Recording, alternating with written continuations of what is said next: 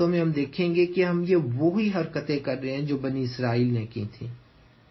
अल्लाह की दी हुई हर नेमत की नाशुक्री। और नाशुक्री मुँह से कहना नहीं होता, अपने अमल से ज़ाहिर करना होता है। मुझे आप एक छोटी सी बात बता सके या समझा सके।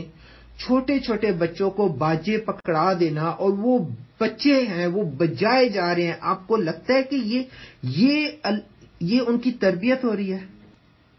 उनके मुँह को चूनों से। पता नहीं क्या और क्या और क्या। ये किसका कल्चर है?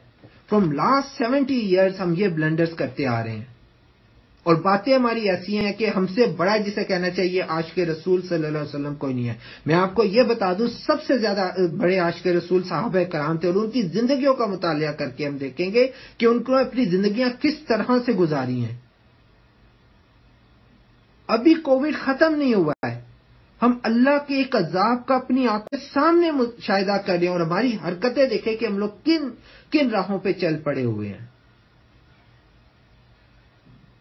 मकसद सिर्फ़ समझाना है, अपने आप को पहले और फिर आप लोगों को, कि वल्ला अपने और अपनी जनरेशन के फ़िक्र करें।